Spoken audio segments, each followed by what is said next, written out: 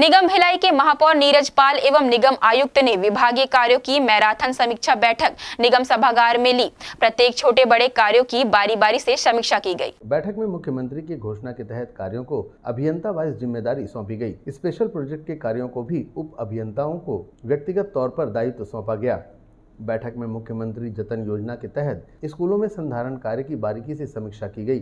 तीन से चार दिनों में सभी कार्य पूर्ण करने के सख्त निर्देश दिए गए और प्रतिदिन स्कूलों का निरीक्षण करने कहा गया। निर्माण कार्यों में गोबर का पेंट उपयोग करने के निर्देश भी दिए गए। शौचालय मरम्मत एवं संधारण का कार्य भी भिलाई निगम क्षेत्र में किया जा रहा है। इसके लिए माह के अंत तक संबंधित सभी कार्य पूर्ण करने कहा गया है। मार्केट क्षेत्रों में स्मार्ट टॉयलेट के लिए भी सभी जोन क्षेत्रों में इससे संबंधित तैयारी पूर्ण कर शौचालय का चयन करने के निर्देश दिए गए हैं। देखिए, समीक्षा बैठक आहूत की गई थी। माननीय आयुक्त महोदय ने निर्माण एवं विकास कार्यों की समीक्षा बैठक रखी थी, जिसमें सभी अधिकारी, कर्मचारी जो हैं, उनको बारी बारी से उनके वार्ड क्षेत्रों के जो विकास कार्य हैं, निर्माण कार्य हैं, उन पे उनको फोकस किया गया है। उन्होंने कहा है कि जो अप्रारंभ कार्य हैं, उनको शीघ्र प्रारंभ करें, जो प्रगतिरत कार्य हैं, उनको शीघ्र पूर्ण करें।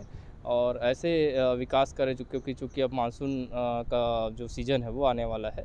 उसको देखते हुए माननीय आयुक्त महोदय ने कहा है कि विकास कार्यों में कोई भी कमी न रहे और गुणवत्ता का तो विशेष ध्यान रखें।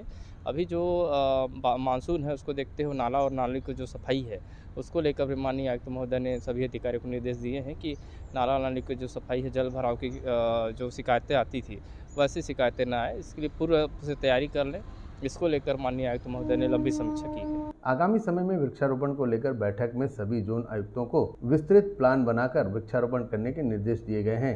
इसके लिए व्यापारी संघ के साथ सभी जोन आयुक्त बैठक करेंगे तथा जन भागीदारी में शामिल करते हुए महाअभियान चलाकर शहर में हरियाली लाने का प्रयत्न किया जाएगा। ग्रैंड एशियन न्यूज़ के लिए भिलाई से संतोष शर्मा की रिपोर्ट।